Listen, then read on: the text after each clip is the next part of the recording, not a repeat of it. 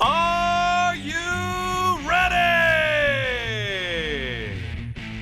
Sea of Red, it's time for another Fireside Chat, the official podcast of Flames fans. It's go time. The Flames have finally hit the halfway point of the 2017 2018 season, and as always, I'm Dan alongside Matt. And whether it's the halfway point or the full point, we're here to talk Flames hockey. Matt, it's been a good week. Flames have beaten two teams right around them in the standings. How you feeling about what we saw this week? Well, uh, the Flames were 16 seconds away from making you correct on our weekly predictions last week, but thankfully I ended up being correct and the Flames getting four points out of four points and not surrendering any to the opposition. In the end, that's what I wanted, but I just I didn't see it happening. No, and it was gutsy the game against Anaheim for sure after they gave up the two goal lead. So it's nice to see, and it, they needed that, and now it's we're at a point where okay, good, you did that. Keep going. Yeah, it's nice. They, I mean, you know, they were just in Anaheim, didn't have the showing they wanted, so I was questioning how they would look against Anaheim coming back to the dome.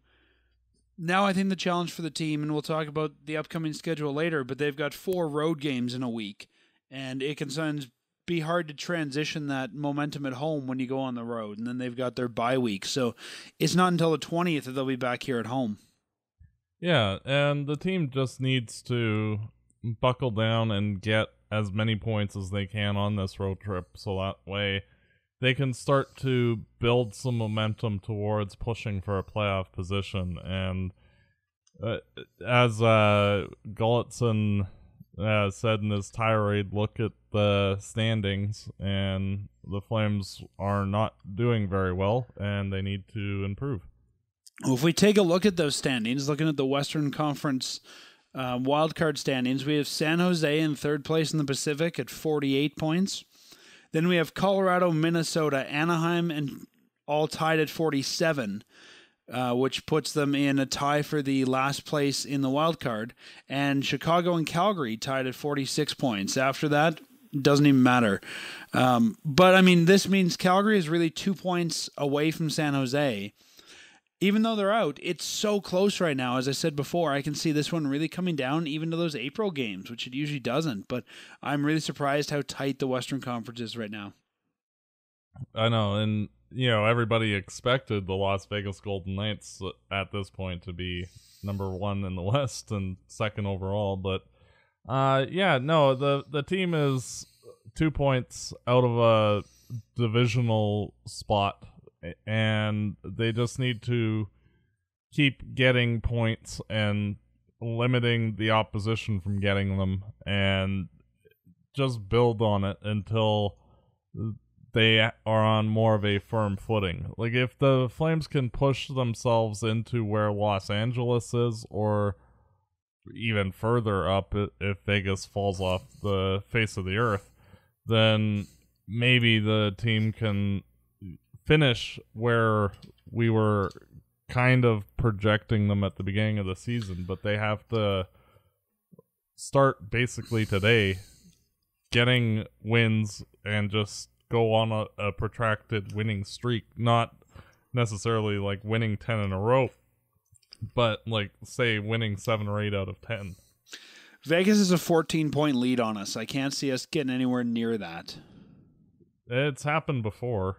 Um, the the last year, uh, the before the Flames stopped making the playoffs in the Iginla era, uh, we had like, like a 14 or 15 point lead on Vancouver and ended up losing it. So, and that was in like late February that we had that much of a lead. So it is doable. It's just doesn't happen too often. Another thing, taking a look at the schedule is not only the amount of points, but the number of games played is interesting to me too. So San Jose has 40 games played and they have 48 points. Uh, the teams right around us, Anaheim has 43 and Minnesota has 42, and they're at 47 points. So we've got you know a game in hand on those two teams. San Jose has a game in hand on us, but we have you know, at least one more game to catch up with some of the teams that we're battling for for that for final wild card spot, and that might be something that works with Flames' advantage as well. Yeah, and, and it it would be nice if the out of town scoreboard was beneficial to the Flames, but they also have to buckle down and get their wor- homework done themselves. I'm hoping that with the Flames skills competition yesterday, uh, January 7th, this team might be going on the road with a little bit more of a fun vibe to them. I think, you know, they've had two good wins, they had the skills comp. I'm hoping that that's going to translate into their first game on the road against Minnesota. Oh, for sure. And especially after the gutsy performance against Anaheim, I'm hoping that uh, they're they can build on some of the positive things that the team worked on. And the fact that they responded in a very physical manner in that game, hopefully them seeing that part of their game drawing success it hopefully they can continue to start laying down a physical game plan against the opponents that they face moving forward and start dictating the play. And take it to the other team so that way they can beat them up and win basically. Well, and we can't talk about this week of games without talking about, as you mentioned earlier, the Glenn Gulutzan tirade. If anyone wants to see the video, it's all over the internet, all over social media, and the Flames website. But after the LA game, uh, at practice the next day, Coach Gulutzan wasn't too happy with his team, and he went as far as threw his stick into the stands. He actually cleared it pretty good. He hit the uh, press or the presence boxes on the lower level, and pretty much told his team, you know what, no one's working hard enough. We'll use different language than he did, but no one's working hard enough. Look at where we are in the standings. We need to be better. And I thought that the next night against Anaheim, it was really going to be a matter of okay, if the coach is giving it to the players and they don't respond, the media is going to say that you know what the the players are the ones that aren't working. So I was glad to see the players responding to that from the coach. Yeah, and a month ago when I had that uh, tirade myself on one of our episodes. Thank you for not throwing a stick. Well, you didn't see what I was doing. You know, we're recording separately, so y- you never know. I could have thrown a mini hockey stick, but no. uh it, that was the kind of thing I was hoping to see from the coaching staff because the players all have been just getting in their own way and it, not taking it seriously and kind of it having like the, our say like our expectations of the team being a very successful team. Well, I think that part of it is that the team looked at like the Hamonic acquisition, the Smith acquisition, and oh, this team's going to be a top tier team. And they bought into their own Kool Aid and without actually putting in the effort in the games to get the results that warrant what the expectations dictated. And having Gulutzan flip out on the team is a good thing. And sometimes you just need to basically like shake the person to like wake up, you know, and the team responded very well in the Anaheim game. Uh, that may have been their best performance of the season, uh, giving up the lead aside anyway. And that's what's necessary. And I think they- to me the big thing here is it's totally uncharacteristic of Gulutzan. You see this all the time from some coaches like Tortorella. Oh, back Oh, yeah, for sure. Keenan, where the players get numb to being yelled at. But it's so uncharacteristic for Glenn Gulutzan that when it comes, everybody, the media, the fans that were at practice, I talked to a couple of them, the players, everybody stops and take notice, and it's like, okay, this guy's serious. Yeah, exactly. And it's one of those situations where he, needed to show some emotion that he gave you know, I could use some expletives. But you know what I mean? Like he cared and and wants the team to be successful and sometimes you need to yell at the players to get them to wake up and get on the right track. It- And Gulutzan has said that they've he's done this before behind closed doors, but I think not only yelling at the players, but doing it in a public forum like a practice, also put some accountability back on the players. I said earlier, we don't know what happens in the dressing room. He could yell and scream as much as he wants to. Nobody knows. But when they get screamed at at a practice like that, then all eyes are on the team of how are they going to respond from this. And I think it is whether he wants to admit it publicly or not, it's a bit of a motivation tactic to say, hey, you guys have been called out. Now it's up to you to respond and show that you're going to rise to the occasion. Yeah, and that's part of like what I was complaining about was his lack of emotion and showing uh, any emotion on the bench and it's one of those it's hard to uh, for players to get motivated when you're not seeing the coach being as involved as he needs to be and we even saw that in the, the Anaheim game. Uh, there was a video clip of Gulutzan yelling at the ref uh, after the um, Hathaway incident uh, with the the fight and him getting an instigator and all that. It, you saw him getting viscerally pissed off at the ref, which was warranted, but it's good to for the players to see that I'm not angry with you as the players. I want to win, and showing that passion is what's necessary. It, it's just a good motivational tool as a whole to move the team forward. Because, like, if you look at the two main coaches that have been successful in recent years, uh, in terms of winning the Stanley Cup, being uh, Darryl Sutter and Joel Quenneville. They're both calm guys most of the time, but if they get angry, you can see it quite clearly. and that helps to motivate the players as well because of the fact that the coach has their back yeah, you definitely want your coach. I mean, your coach is, you know, in in a lot of ways your leader, your quarterback for your team, and you want to see that he has the same emotion, the same pride, the same passion for the team as the players do. And just like a parent, right? I mean, we've all had times when our parents have yelled and screamed, and sometimes it's been a motivation tactic. Sometimes it's just that, hey, don't do that again. You've obviously made me angry. We've all that, you know, parent tells us they're disappointed in us. But I think just like you said, showing that emotion shows okay, this guy is in this and he's just, just as frustrated as everybody else is. And just seeing that, I think, makes it a little more human for me, I guess. Exactly. And it's just what the team needed. So we'll see how the how long that motivation lasts. If that's going to continue through the road trip or not, I wouldn't expect to see this from Gulutzan again this season. Um, I mean, it's not who he is, and I don't think he's doing it just to make a show. But hopefully, like you said, we'll see a little bit more passion, whether that's on the bench, whether that's talking to the media. I'm hoping maybe this has opened something up deep within him.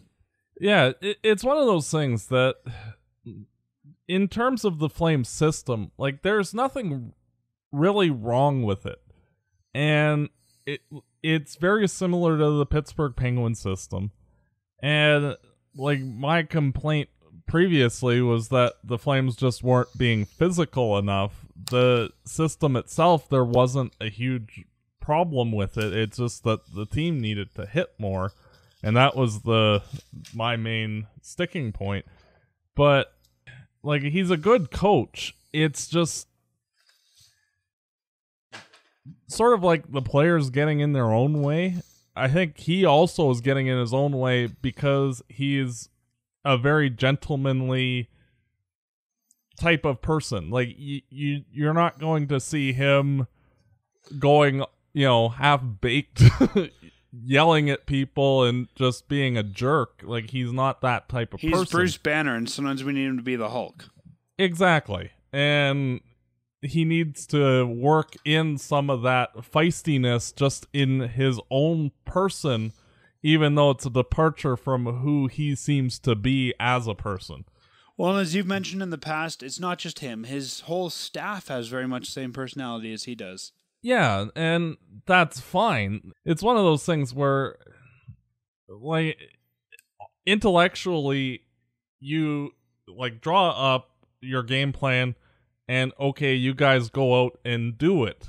and that's how like he the coaching staff seems to all be is just very direct like here's what we're going to do go do it and great but there's the other side of the coin where you also need to have the psychology and all of that kind of I, I stuff said and to you a few weeks motivational ago, thing. He's very much an X's nose coach. He's a hockey coach, and Suns that head coach also needs to be sort of the human resources guy, the guy who knows how to motivate and get the most out of his employees. And maybe that's where Gulutzan lacks a little bit. Yeah, and that that's exactly why I was saying like a guy like Darryl Sutter uh, because of the fact that like Rhett Warrener had mentioned that he knew when specifically to push people's buttons and when not to.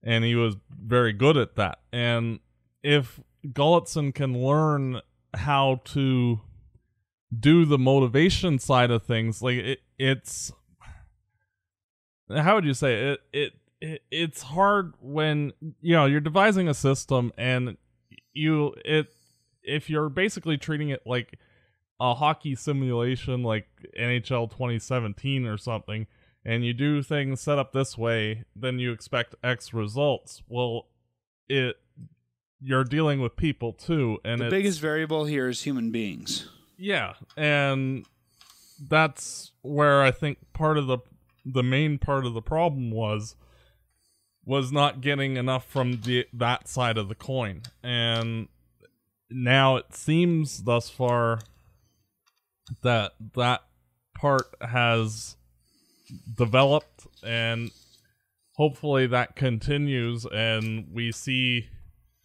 just some more passion from the bench and everything start to coalesce together because this team is legitimately a good team when they're on the same page it's just getting them there Well, let's move on a bit from the coach and let's talk about some of the transactions. Two major transactions this week that we saw, one more surprise than the other.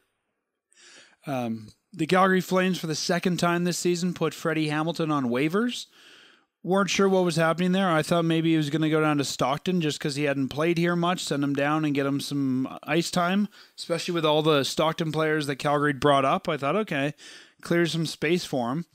And the next morning, we find out he was claimed by the Arizona Coyotes. Something I don't think any of us expected to happen. Good for Freddie. He's probably going to a team where he's going to get more time. But Matt, and I mentioned this to you before the show a little bit. We know the history there with Treliving and Arizona, and we know that there's been a lot of transactions between those two teams. How much of this do you think was a, hey, can you guys help me out here? I mean, we know that Treliving probably still has some good ties to that organization with some of the deals we've seen. How much do you think is, hey, can you guys just help me out here and claim Freddie for me?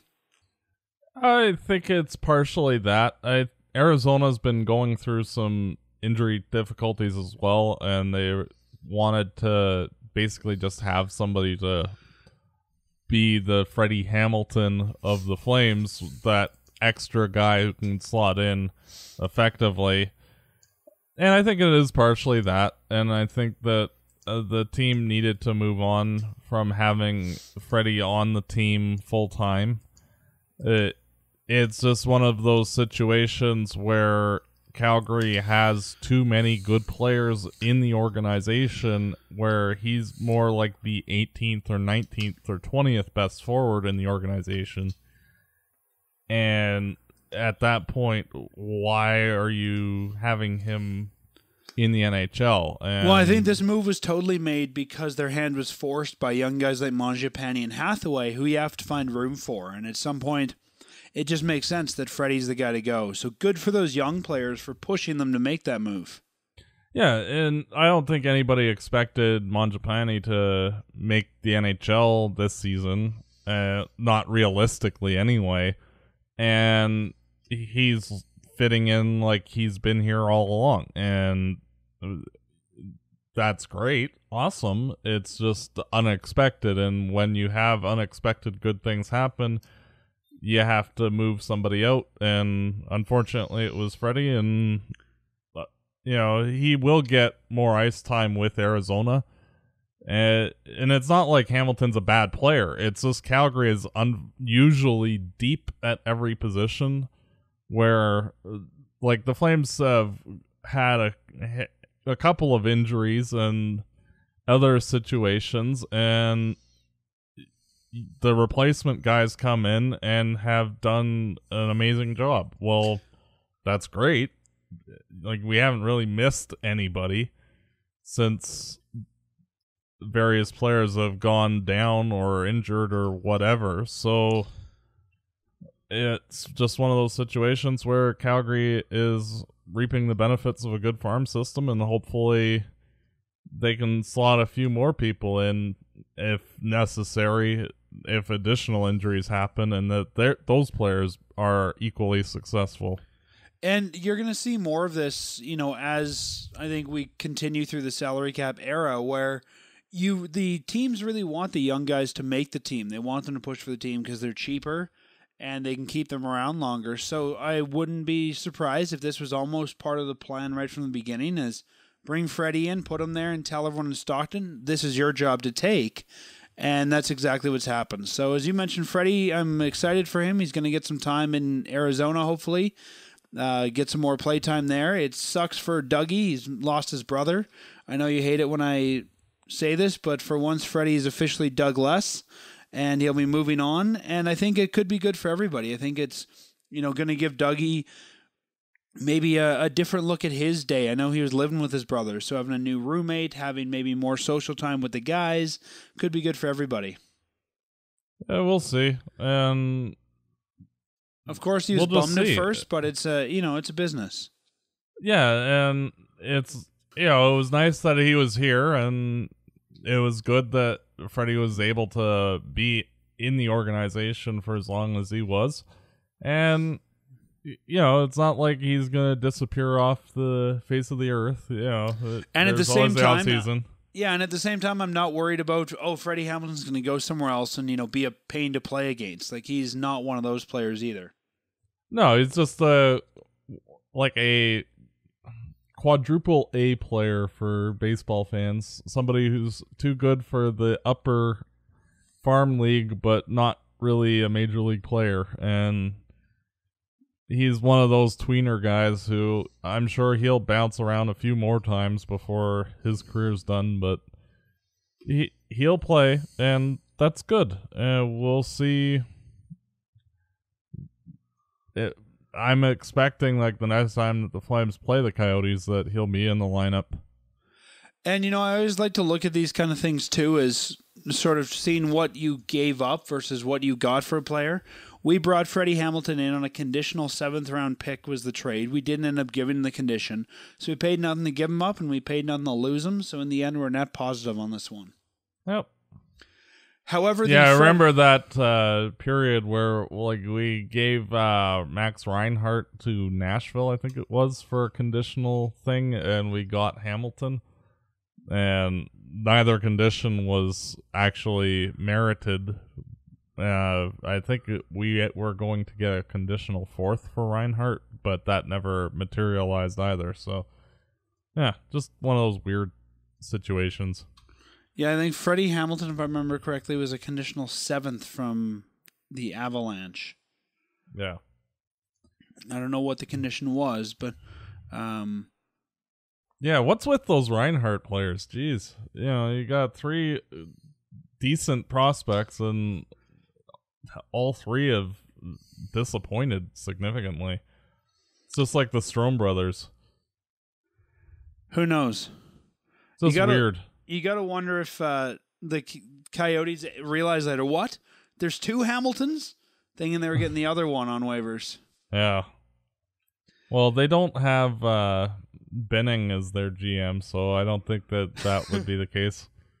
That's true. Though I, I don't know about this new guy. He's all about, you know, the stats. He's trying to play money ball with hockey. So that's why I'm not a fan. It, the advanced stats they're good to a point, but they don't give you the entire picture. And if you've looked at the two teams that bought in whole hog on the advanced stats, you had the Florida Panthers and the Arizona Coyotes. Well, uh, Arizona's dead last in the Western Conference, and uh, where's Florida? I think they're right near the bottom too. Yeah, they're not doing too well right now.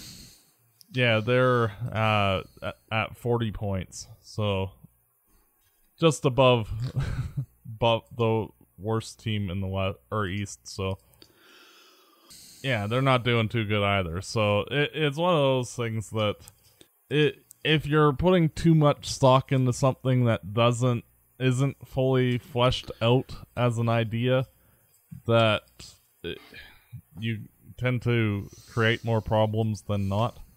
And well, as we've seen, Arizona eh, they have ten wins on the season. Not so good. Just to finish up our thoughts on transactions here, the Flames did make one other transaction after Freddie Hamilton got waived, bringing up Marek Hrivik from Stockton. Uh, for those that don't remember, Marek Hrivik was signed by the Flames, I believe, pretty early in July this past summer, but he was brought in as a free agent uh, from the New York Rangers organization. He's 26 years old. Uh, he's six foot two and weighs 197 pounds played most of his career in the AHL, has a couple games in the NHL, but this is another guy who I think you're not going to see probably as a. He, I think he projects to be very much like a Freddie Hamilton. He's a good 13th, 14th forward. If he's in your top 12, top you know, four lines, you're probably a little bit shallow on those lines, but a guy that I think could have some staying power with the Flames. Yeah, and he looked fairly well uh, as a player in preseason before he got injured. He may have even made the team out of camp if it wasn't for the injury. So uh, he was more than a point per game in Stockton. And when you have four players that have been playing at that caliber uh, in Stockton, uh, Jankowski, Hathaway, Mangiapane, and Hrivik, and the other three are doing so well, why not try number four? The other thing about Hrivik is he's 26, and at that age, you kind of have to decide. I think he's only on a one year contract, too. You have to kind of decide if he's NHL worthy or not. You don't want to leave guys 27, 28, 29 in the AHL. So I think this is the Flames' chance to bring him up, see if he can do what needs to be done at the NHL level, and if not, they just probably won't renew that contact, contract in the offseason. Yeah, I think what you're going to see is Matt Stajan will get benched for a game at some point and Hrivik will be given an opportunity and say, "Well, there's Stajan's job. Go be better than him, and you get it." And I think that's what you'll end up seeing. Yeah, I wouldn't be surprised if Hrivik stays up here for the rest of the season, just because he is that older um, sort of fill-in guy. I think he kind of takes Freddie Hamilton's place. Yeah, he can play in multiple positions too if necessary. So he can just be that versatile if in case of injury, break glass type thing. And with Freddie gone now, I could almost see Merrick getting that role next year as well, getting re-signed and being that 13th forward for the Flames next season. Yep. If he's cheap and he's decent, hey, Awesome. He's making six hundred fifty thousand right now. I can't see him getting that much of a raise in the offseason. And I'd rather have a twenty six year old guy playing that thirteenth forward role than a Mangiapane or a Hathaway. Those are guys either have to be in the lineup all the time or in the AHL. Exactly. Well, Matt, the big story of the week, probably the one that is getting the most talk among the Sea of Red this week, is it was reported on Hockey Night in Canada that the Calgary Flames and Jaromir Jagr are looking for an exit strategy. And I think we can all agree that as much as it's been fun to have Jagr and all the fanfare that came with signing number 68, things haven't really turned out the way the Flames wanted them to. He's older. Um, it's almost like his head is saying he wants to play hockey and his body's saying, no, we're done. He's been injured for a lot of the season. He's had various lower body injuries, I guess a groin and a knee. He's not on the trip to Minnesota with the Flames, and he wants to play. And the Flames obviously need to move on from him if he can't play. So, not surprised to hear this. I was kind of hoping we'd get a season out of him, but it's not surprising. What are your thoughts on hearing that the Flames and Jagr are looking for a way to get out of this relationship? It's always disappointing, uh, especially with so much admiration for number 68 that it just sucks. You don't like seeing some player that you just genuinely like as a person have to retire just because of age. It just, and I mean, it's it's not like management's held him down. We've given him all the chances we can. And I think coming into this too, we knew this was going to be a bit of an experiment. Oh yeah, and uh, it if he didn't get hurt eh, and was playing without the injuries, I think he would have been basically what the Panthers got out of him last year a decent, like 40 point ish secondary scorer. And it just didn't turn out. It, that groin injury just kept getting re aggravated and re aggravated and re aggravated. And I mean, It just gotta- sucks. We got to remember how old he is too. Most guys quit the NHL about thirty-five. He's forty-five. So these kind of injuries, I think, coming into this, it was expected. I think that if he got hurt, it was probably going to be the end of the season. Yeah, uh, and it's just one of those lingering, continually lingering problems, and unfortunately, it's just tough to see him go. And it was just a awesome experience to have Jaromir Jagr play for the Calgary Flames, and you know, I don't think too many fans are going to be happy to see him go. I think a lot of fans just genuinely were happy that he was here. And I just hope that he enjoyed his time in Calgary and got to go to the mountains and enjoy himself there as well. And, you know, Well, and, and the is. players too. I mean, you still talk to the players. I've talked to some of them as I've been in the dressing room doing media stuff, and they love to talk about just getting that chance to play with Jaromir. And I think for a lot of these guys, like Gaudreau, like Bennett, who've Gaudreau assisted on his first goal of the year, Jaromir set Bennett up for one of his goals this year.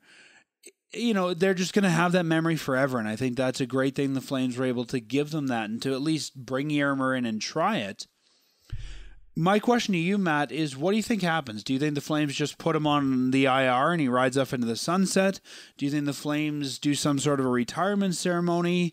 What do you think is going to be the end result of this, I guess, divorce between Jaromir Jagr and the Flames? Honestly, I think the main, the first thing will be uh, the Peter Svoboda, his uh, agent, will probably be talking with each team around the NHL to see Apparently, if anybody already wants happened. him. And if that doesn't happen, then I think they'll just try to mutually terminate the contract, and that'll be that. Yeah, I mean, it's if you terminate the contract, unless he's going to play for his team in Europe, it would have to be a buyout. Otherwise, it's a defection.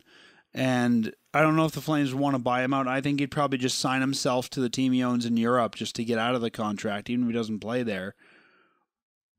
Yeah, I can I can also see the Flames trying to strike some sort of a deal where it's like the Freddie Hamilton deal. You give them to the Penguins for a conditional seventh. The condition being that Jagr has to play every other game this season, knowing we'll never meet it, or even just future considerations. I think that might be the way to go: is trade Jagr back to Pittsburgh and let him retire as a Penguin. As much as I think Flames fans would love to see him retire here, he's really done nothing as a Flame. Like if he's going to retire, he should retire with a team that he had some significant impact with. I agree. And it wouldn't take that much. I mean, he's, you know, yeah, his agent's going to shop him around. I don't see anybody wanting him. He's an old, broken down 45 year old. No one's going to give us anything for him. Um, you don't want to waive him. Like, you got to have some dignity there. I think the best thing to do might be just trade him to Pittsburgh and move on. What you don't remember Los Angeles Kings legend Jarome Iginla or Chicago Blackhawks legend Theo Fleury? You know, it that just doesn't seem right. So yeah, naturally he should get the opportunity to go back to Pittsburgh for to retire, whether it's at the end of the season, like a one day contract or whatever. I think know, that I- would be better. You I know, think if they just- trade him to Pittsburgh at the deadline or even before, I'm sure he can muster up the strength to play one more regular season game. Yeah, I think that would be possible. You know, I mean, they've got to have a game coming up against Edmonton or Arizona where you put him in, you let them play five minutes, and you know you go out that way. To your point with uh, Theo Fleury and Iggy, remember that Fleury actually did come back here when he retired. He got a Oh, shot at know. training camp, and Iggy's not actually retired yet. That story hasn't been written quite yet. True. So we, but yeah, I think it's I don't know. It's sad to see Jerome Jaromir Jagr go. I think he's had a positive influence. There's been a lot of talk of him potentially staying on with the team, maybe having a Conroy like role where he works in the office. I don't think Jagr wants to stay here. I think for him, North America, from from talking to him and talking to people around him, he looks at North America as work. He's only in North America because he wants to play in the National Hockey League. If he doesn't have a playing job, he's just going to go back home to the Czech Republic.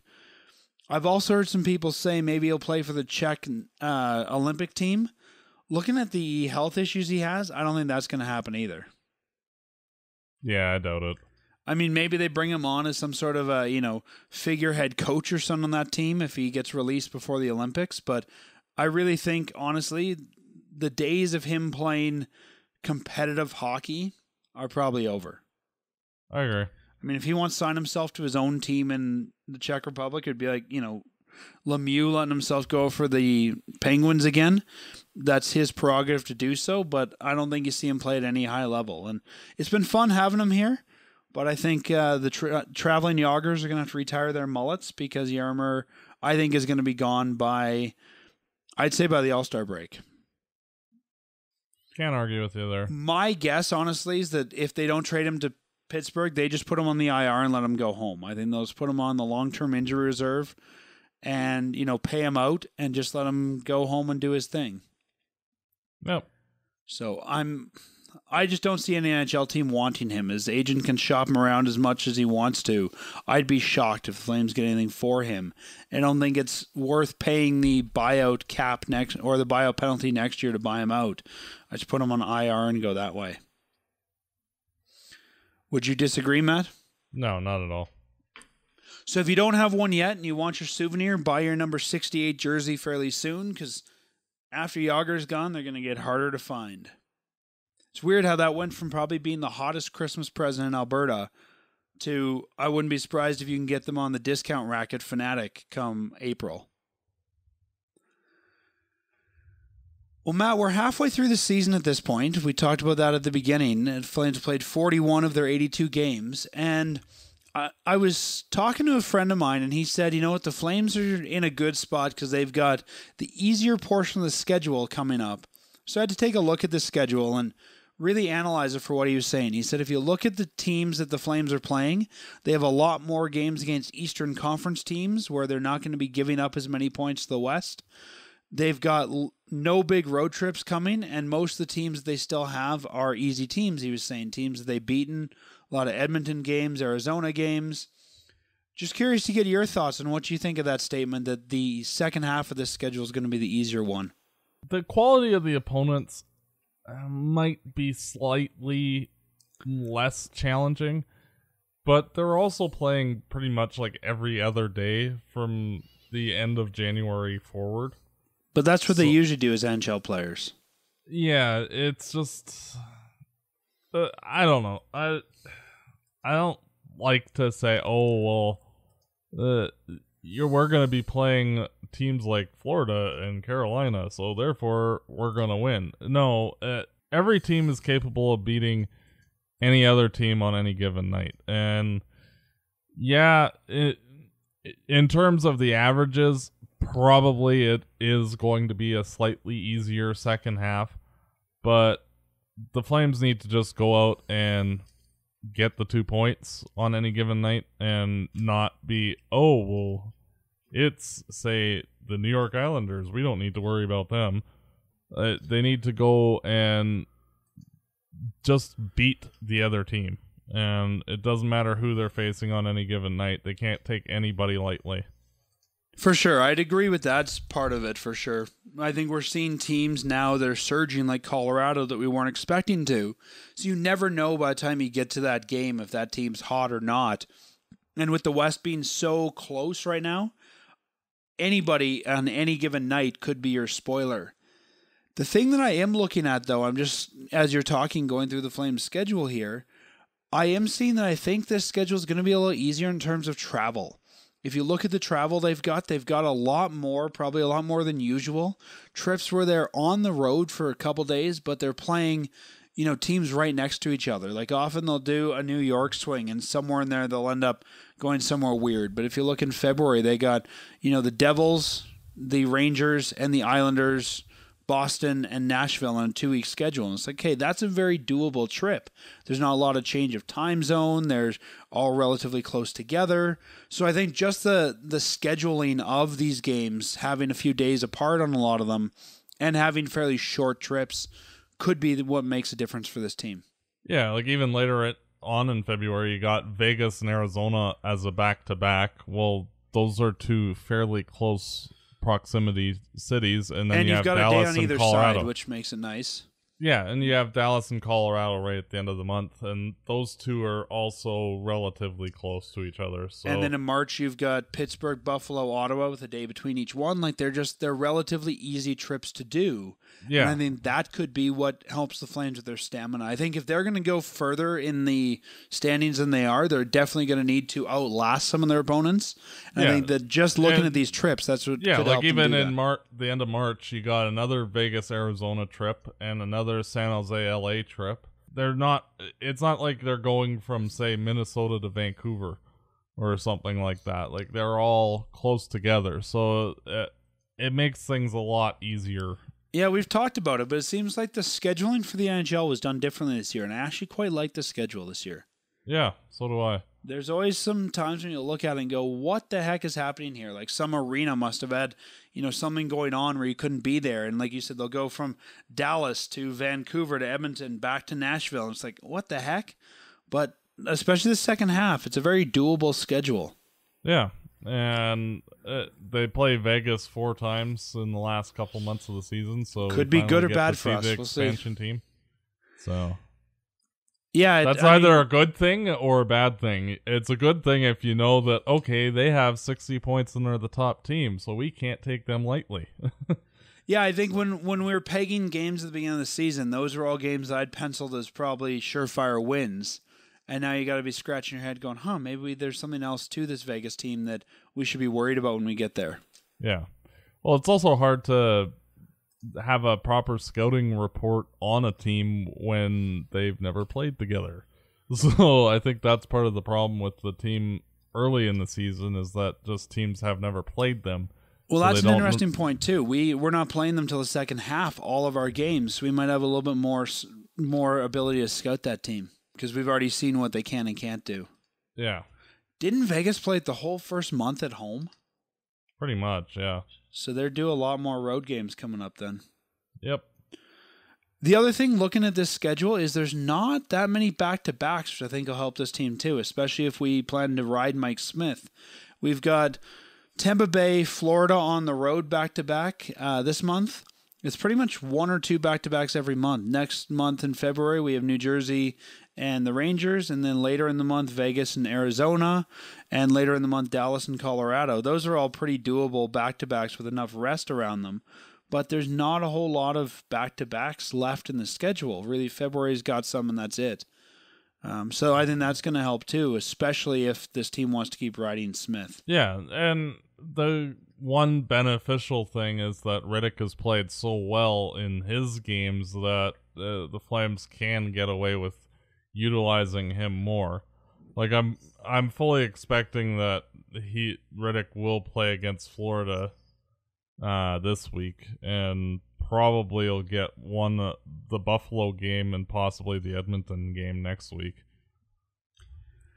Depending on how this team looks in the Florida game, I wouldn't be opposed to putting Rittich in in Carolina. Um, just shut down, shut Smith down a little bit early because then they have the bye week going on there, and I think that those couple extra days could help him get a little bit more rest in, which he needs right now. Yeah, we'll see. But yeah, it's going to really depend how they do in Minnesota Tampa Bay for them to make that decision. But um, also, for those that don't know on the schedule, the Flames do not play from the 15th to the 19th. That's their bye week. Remember, that was introduced last year. So there will be. I don't even think they're allowed to practice during that time. It's pretty much a week off for the entire team. Yep. So it's not like anyone's going to stay in Carolina. There's nothing to do there. But you'll probably see guys take off from Carolina to go to Hawaii or somewhere else, and then they come back home. And I don't know. It always seems to me like it'd be nice to finish your bye week at home, and the Flames have a three game homestand after that. Yeah. So I don't know if I'd say, like Matt said, the quality of opponents is going to be easier, but I think the scheduling is well done this year, and there's enough breaks where they need breaks as well that I think this could be a, an easier segment for the Flames. Yeah, they play every other some months, but then if you look, it always seems like right when they probably need it, there's a two or three day break, and I think that might be what saves this team a little bit. Well, Matt, why don't we answer some questions from Twitter? We've been asking people every week if they have anything they want us to talk about. And we got three people who responded to us this week.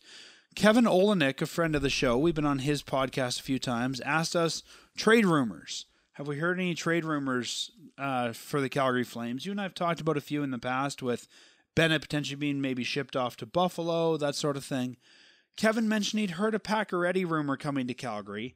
I don't know about you. I can't see what the Flames would want to give up for Pacioretty. I'm not saying he's not a good player, but I think Pacioretty's going to get a king's ransom, and I don't really want to pay that right now. Yeah, and I don't like Pacioretty whatsoever as a player. I think he's a very passive and lazy player, and I don't think that's someone that you need in the organization. He's good, but I've never been a fan of his, and I just I think somebody's going to overpay for Pacioretty and regret that they did. yeah, uh, he seems like the type of player that like when the wheels come off, like he just vanishes, and I think that uh, that part of his career is coming sooner than later, and I would not want to pay hit whatever it is that the Flames would need to to get him, and I I just think there are better options, a lot of better options out there.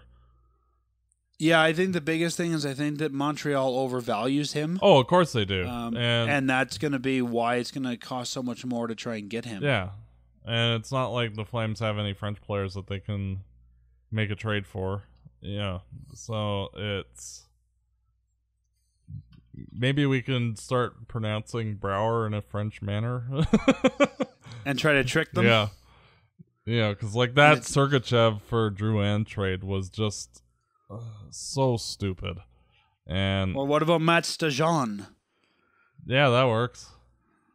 Maybe they could take him off our hands. Or Matt Bartkowski. Yeah, or So, Stone. I don't know.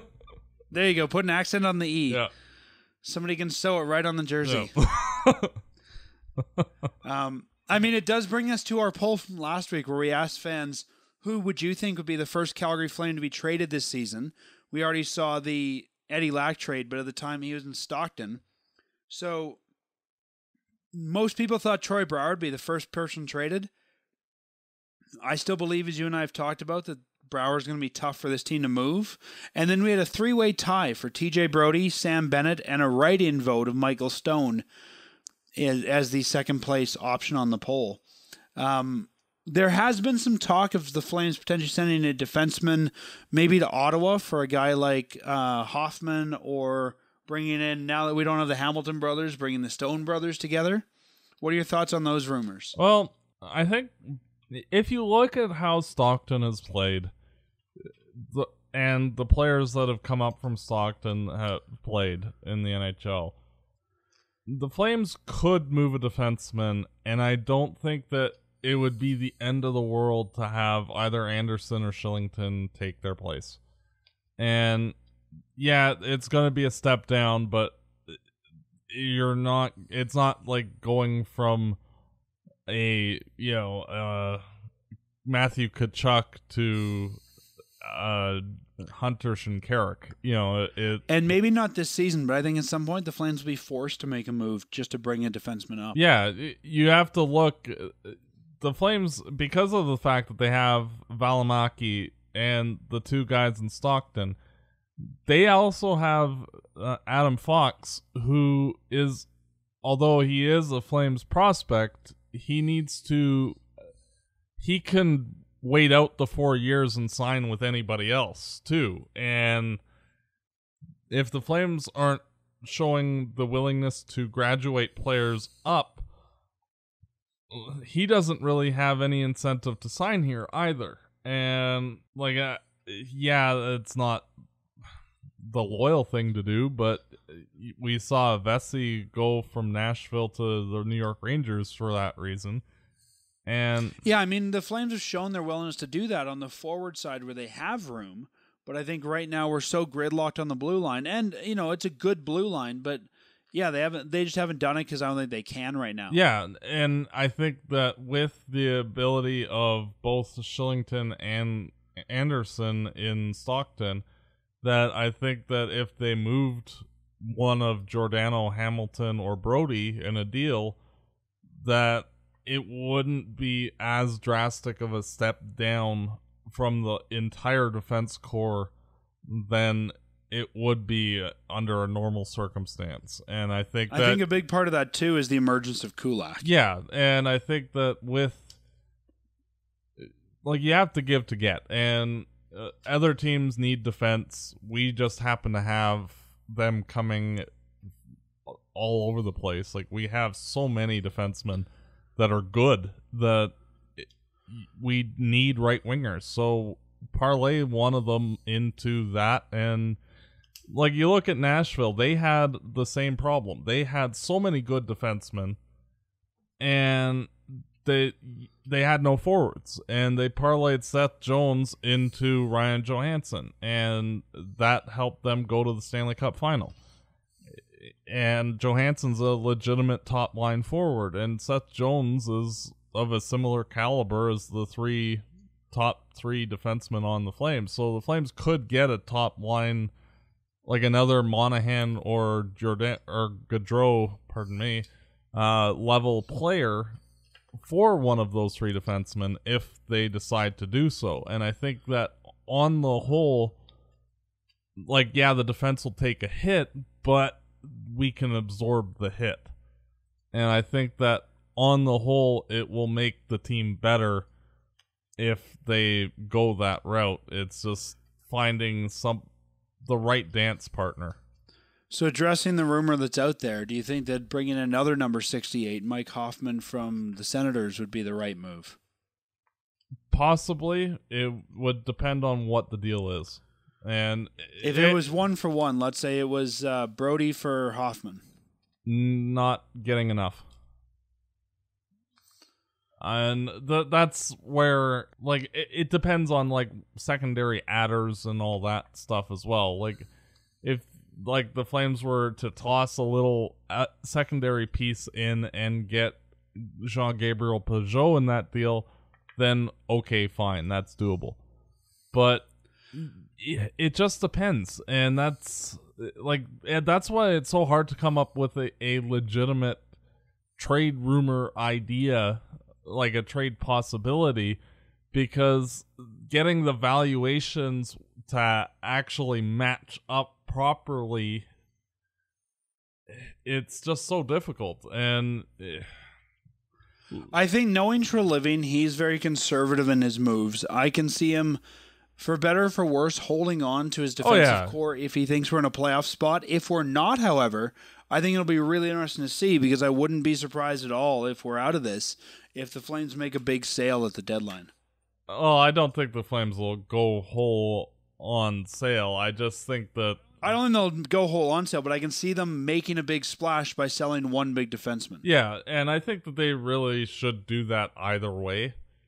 Um, I don't disagree, but just knowing Treliving, I don't think he's going to do it. no, and it's one of those situations where does it make sense? And he would you, probably rather do that at the draft floor. Yeah, and if the deal makes sense, you and it makes sense now, it'll make sense let later, but it won't make much of a difference if you pull the trigger now versus later. So if a proper deal comes about and it works, then go ahead.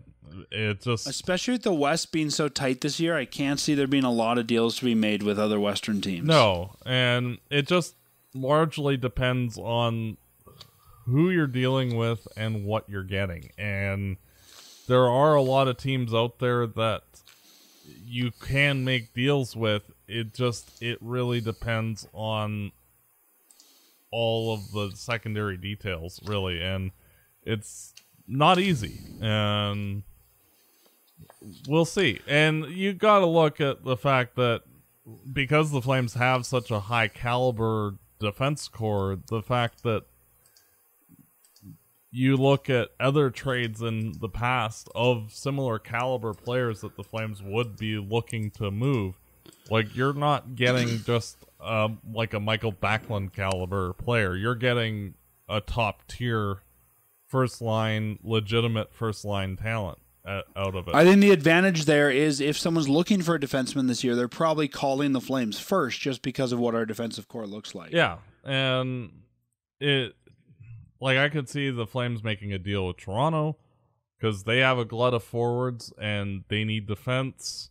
Uh, There's a handful of teams out there that you could see a realistic deal, like a Yeah, I like think a Brodie. being a deal with the East. yeah, like a Brodie for Marner deal that makes sense for both sides, and you, you'd have to add like little secondary parts to make it work, but you know what I mean. Like it, the, with all of them, there are ways of getting it to work. Like say Nylander instead of Marner.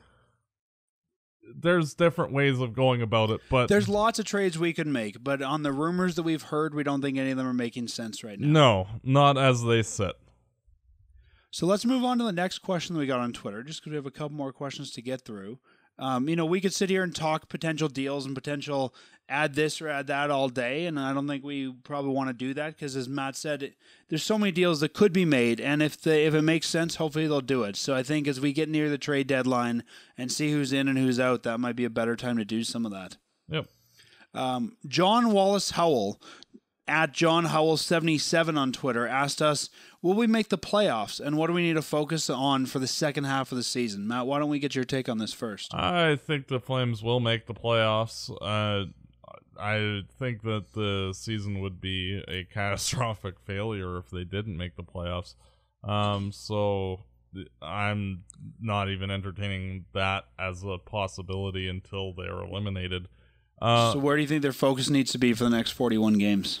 uh, the focus needs to be on doing all the little things and uh, just details. Uh, the team has enough talent where if they're focusing on the details and not making little dumb mistakes here, there, and everywhere, like what we were discussing last week of death by a thousand small cuts, they'll be fine. It's just making sure that they're on the right page consistently. And I think that the Flames, if they can parlay the games that they had this week into like a, a momentum builder, the Flames could go on a tear.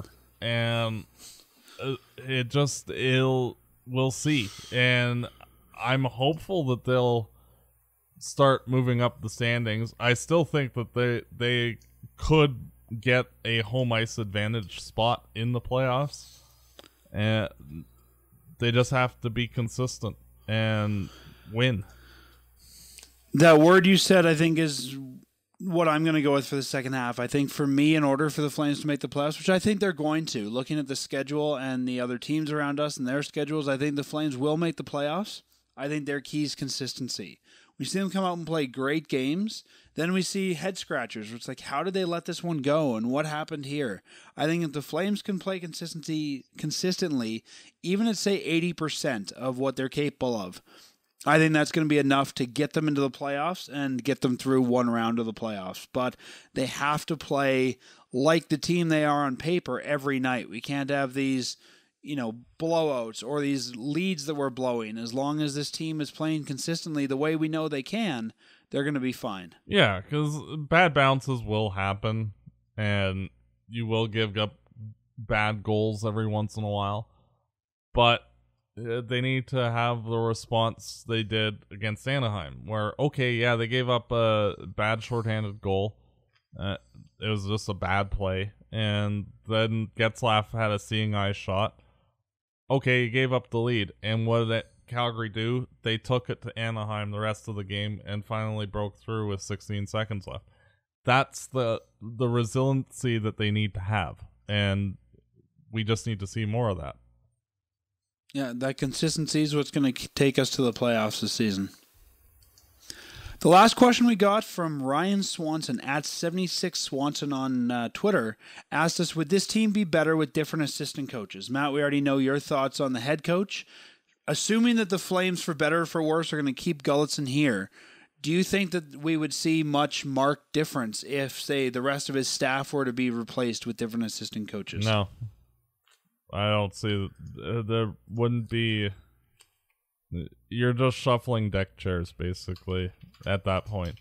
Like, I, when I was saying to fire the coach, it was because things were not, in my opinion, being done enough in the right manner to get the most out of the team.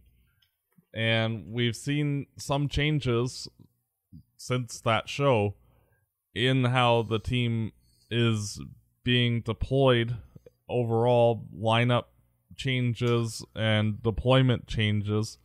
And even with his outburst this week attitude changes from the coaching staff. So if they keep going the way they are and the making those changes permanent and getting more out of the players that the players have in them then there's no need to change the coach anyway. It's just what my frustration was was the disconnect between the talent on the team and the results on the ice. And the Flames since that have played significantly better and they're starting to look more like the team on paper. That just has to continue. That's all. I've heard a lot of criticism from fans saying, "Oh, you know, we've got Paul Jerrard and we've got Dave Cameron, and Cameron's running, I think, the power play, and it's terrible." And you got to remember, it's not like he's doing it at arm's length from the coach. It's not like Gulutzan can't step in there and say, "Dave, this isn't working." Like Gulutzan still has that that authority over this team, and I think whether it was Dave Cameron or somebody else, we would have had the same result. Do you remember years ago, Matt, when we had a terrible power play and everyone said, "Oh, it's Rich Preston, it's Rich Preston." Then Rich Preston got let go, and the power play was still terrible. Yeah, yeah. Calgary The coach can only do so much for that. Yeah, like Calgary has modified how they deploy the power play entirely. It's not the the same. Brouwer play. not only not having him on the Brouwer play, but just how they set up on the power play. They're passing a lot more than they used to and are moving more and they're still not scoring. So like they're trying to get it to work. It's just they're not getting bounces to go their way. And the power play largely there are only so many ways that you can deploy a power play unit. And usually the power plays that are most successful are ones where the players are moving with the puck because it causes the defenders to move. And when the defenders move, lanes get opened, pass, pass, goal. And the Flames are doing that now, and they're just not getting the end product. And that could just be bad luck. It could be that they're just not quite comfortable yet with doing it that way. We'll see. And uh, If there's one piece of this coaching staff, I think I don't want to say is expendable, but if you're going to change one piece, I think it could be Marty Gelinas.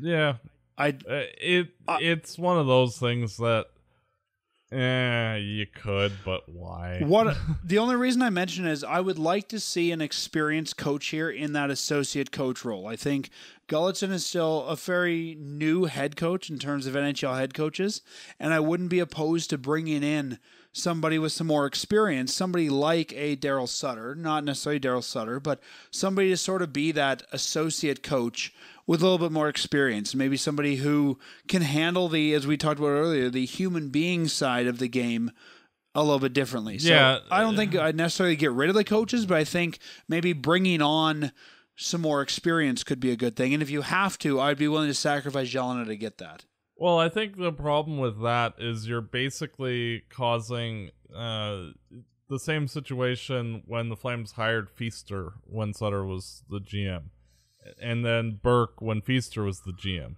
You're you're saying that you're kind of setting them up, saying this is the this is the heir apparent. Yeah, you're getting replaced by this guy. It's just it, we're going to just ride you until we're tired of your being here, and that's not fair to Gulutzan. That's not really fair to the coaching staff either. So it's I think it depends how you do it. If you get a guy who's actively in the coaching hunt or actively looking for a job, for sure. I'm not necessarily saying this is the right guy, but if you were to get a guy like a Dave King or a Pierre Pagé who have done enough coaching, they're not looking for a job anymore, but they're brought in more as that advisor type role, and you know this guy's not going to replace me. I think that's the kind of guy that works. You don't bring in a Lindy Ruff or a Darryl Sutter, a guy who's looking for a job right now yeah, sort of like the Brian Burke as our, you know, as our president of hockey ops. You kind of get the sense Burke's done his with his GM career, but he still has a lot to offer the organization. You know, I don't think Burke is gunning for the GM spot. I don't think he's going to leave us for another GM spot. I don't think if Treliving gets fired, he wants that spot. I don't know who that coach is, but I think you could find somebody either, you know, around here or further away, but just somebody with a little more experience who can. Because if you look at the assistant coaches, they're all well known assistant coaches and well known head coaches at the AHL level, but we don't really have that guy who I think Gulutzan can lean on when the going gets tough, who can tell him, here's how I've done it in the past. And it's more that advisor role, I guess, which I would put in as the associate coach. yeah. It, it to me, it's like it's not necessary right now, and I just think you don't go out looking for no, it. Like, I like make that, that, would be now, an if- off-season thing at best. Yeah, for sure. But I'm saying if we're going to make a change to the coaching staff, um, I think that's the change you make because you try to bring in a little bit more experience to that coaching staff. You also need a coach who's comfortable with his assistants. And I think if we change out the assistants, these guys were handpicked by Gulutzan. I mean, we've seen weird stuff in the past where the Flames kept all the assistants and changed the head coach. That happened with the Sutters, I think. And it's like, well, what's going on here? So Gulutzan has his staff. And I think if you believe in the head coach, you have to believe in his staff as well. But I don't think having more smart hockey guys on the bench or in the coach's room could be a, a detriment. No, we'll see.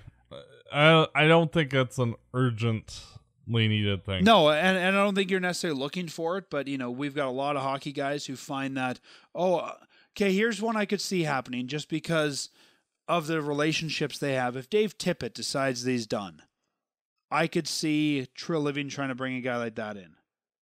and that's possible. You know, I don't think necessarily anyone's going to say, oh, Tippett's going to be the next head coach, but you bring him in more as that experienced guy. And that's, uh, like you said, you're not going out and actively seeking it, but that's the only thing I could see them changing to the coaching staff is adding instead of subtracting. So, Matt, with that, we've gone through a lot of Flames news this week, some interesting stories. Let's look at the week ahead for the Flames. The week ahead has the Flames on the road for four games. On January 9th, they're in Minnesota. That's a 6 p.m. Mountain Time start time. Then they have a day break on Wednesday, and they play a back-to-back against Tampa Bay in Florida.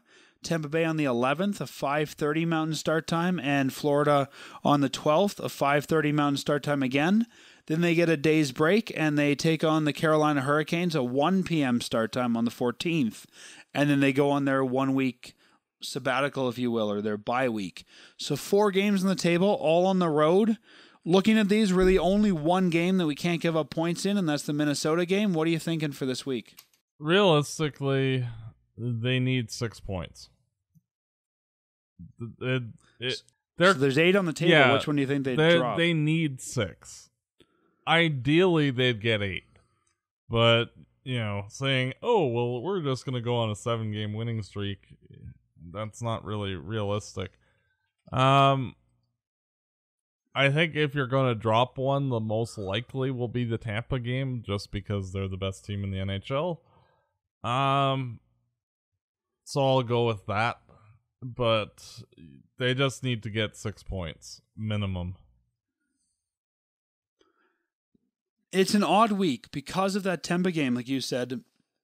It's going to be a game where I think the Flames aren't going to do that well, and I can see that just because of knowing how this team plays, I can see that affecting their performance next night in Florida. I could see that too. So and then they I got an think the F- afternoon game in Carolina, and we don't usually do well in Carolina too. So uh, Well, and that combined with the fact I think their heads are going to be elsewhere in that game. It's a 1 p.m. game, and after that, I bet a lot of guys are leaving to go on vacation. Probably have the family ready to go because that's the bye week. So I don't think their heads are going to be there in Carolina. yeah, like this could be a disastrous week if they're not if they're not paying attention to the details. And I think of all the weeks we've looked at, this has this is the week that has the possibility to be a great success or a great disaster. Like it can flip on a dime this week. yeah, like they could walk out with zero points this week, and I could see a situation where that could happen. It's just they really need six. Just to, With what we're seeing recently, I think we're going to see the Flames beat Minnesota. I think they have to beat Minnesota, and I think the way they've played lately, they can definitely do that. Tampa Bay, I think we're going to lose. Um, I think Rittich will be in in Florida, and I think we're going to lose it just because I think the Flames aren't going to have their heads on straight for the after the Tampa game. And I'm expecting, I hope not, knock on wood, but I'm just expecting the Flames don't put in a good effort against Carolina because their heads are looking towards the bye week and Carolina gets the best of it. So I think we're going to get two points. Just the Minnesota game. uh, well, I hope I'm wrong. I hope But that I you're wrong too. And like honestly, I could see you being right. And It should be a game where we can pick up, I would say, four easy points. Two points against Minnesota we'd have to fight for, and the Tampa Bay game to me is a big loss. well, it's one of those where I'm expect I'm hoping for two points out of the four between Minnesota and Tampa. I think if we lose to Minnesota, we beat Tampa, or I hope we beat Tampa. But yeah, it, none of them are going to be easy games just due to circumstance. So I'm hoping the Flames will play well in Florida, and if they play well in Florida, they can beat the Panthers. But I just think no matter who that team was in the 14th, no matter what time it was, their heads just aren't going to be in it. Yeah, I think that the Flames put it this way, if Calgary plays like the Calgary Flames can play, they could sweep the week and go on a seven game oh, win for streak. sure. I don't know about sweeping. I think that they'll still lose to Tampa Bay either way, but then they get six points. Well, they could beat Tampa if they're a good enough team where man on man they could beat them. It's just is that going to happen?